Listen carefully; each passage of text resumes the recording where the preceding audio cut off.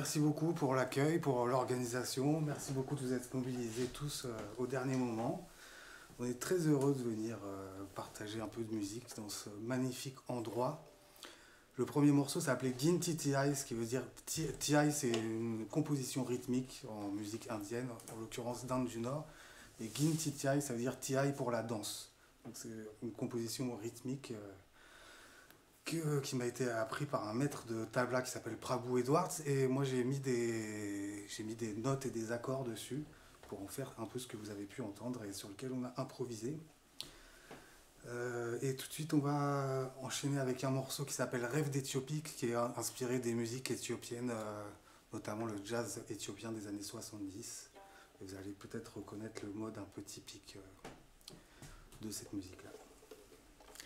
Sébastien Gignot au violoncelle, s'il vous plaît.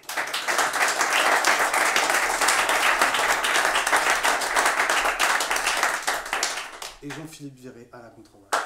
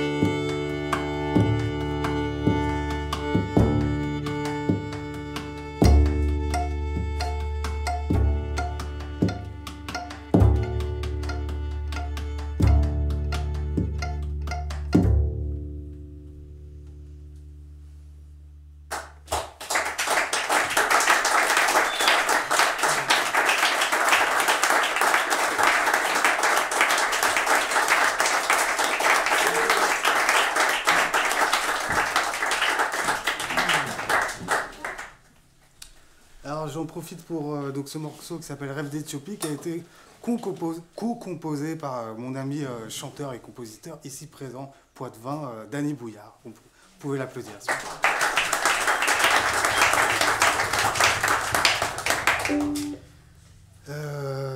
on va continuer avec une petite balade entre plusieurs, entre une composition de Seb qui s'appelle Soleil dans les feuilles d'un arbre, et je crois que ça va être le bon moment de le jouer.